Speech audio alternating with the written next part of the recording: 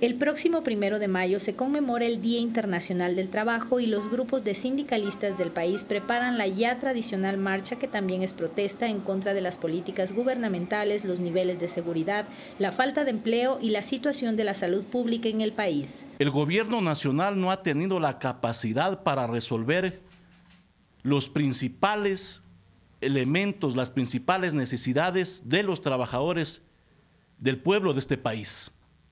Existe una deuda social en el tema de salud, donde lamentablemente los funcionarios del IES, los funcionarios del Ministerio de Salud, creen que ya está resuelto el problema de medicina. Y es mentira. Pero este año se suma una demanda más, la salida del presidente de la República, Guillermo Lazo, del poder. Si es que respetando el proceso se demuestra como así se ha venido denunciando, que está el presidente involucrado en actos de corrupción en el tema del narcotráfico, tiene que dar un paso al costado y esa es la exigencia del pueblo ecuatoriano. Los sindicatos cuestionan las decisiones del presidente Lazo a todo nivel, pero también se comprometen a aportar con una línea de ruta para afrontar la crisis del país. La salida de este presidente nos permitirá tener una concertación nacional. De lo contrario, nosotros, desde la sociedad civil, desde las organizaciones sociales, estaremos planteando